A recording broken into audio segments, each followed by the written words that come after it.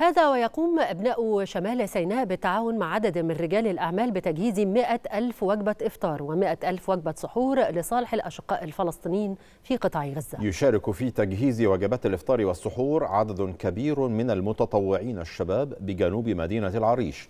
كان مجلس القبائل والعائلات المصرية قد أعلن عن إفطار جماعي على أطول مائدة إفطار بدون طعام بطول ثمانية كيلومترات تضامنا مع الأشقاء في قطاع غزة.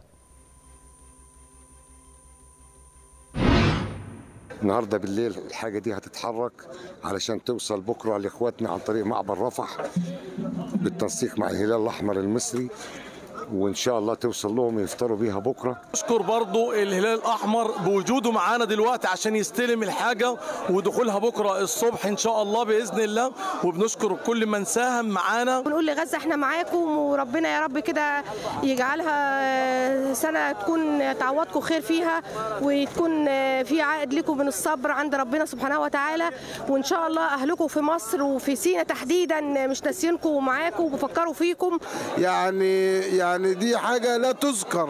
بالنسبة إن هم يروحوا ويقفوا معاهم دي أقل واجب. يعني إحنا كلنا تحت أمر إخواتنا الفلسطينيين في أي شيء ويا رب يا رب نكون عند حسن ظنهم.